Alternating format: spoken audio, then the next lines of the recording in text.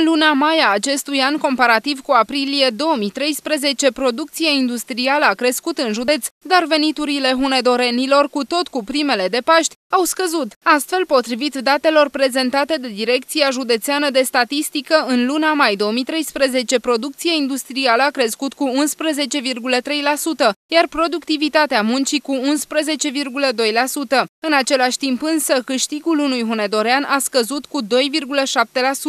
În cifre, venitul brut al unui hunedorean a fost de 1880 de lei, mai mic decât media națională de 2226 de lei. Conform acelorași date statistice, pensionarii din județul Hunedoara ar trebui să fie printre cei mai fericiți din țară. Venitul lor în cuantum mediu de 986 de lei față de 800 cât este media pe țară, îi clasează pe locul 2 la nivel național.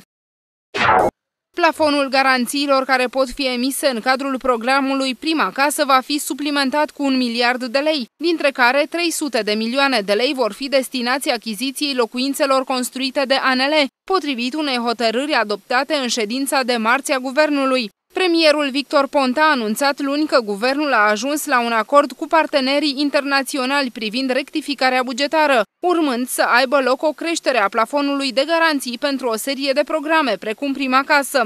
Plafonul de garanție a fost crescut cu 2 miliarde de lei pentru a stimula și a putea ajuta anumite programe naționale, printre care programul Prima Casă. Mai sunt și alte programe în care avem o creștere a plafonului de garanții, a precizat premierul în cadrul unei declarații de presă susținute la Palatul Victoria. Precizările au fost făcute după ce premierul a avut o întâlnire cu reprezentanții Fondului Monetar Internațional, la întâlnire participând și ministrul finanțelor Daniel Chițoiu.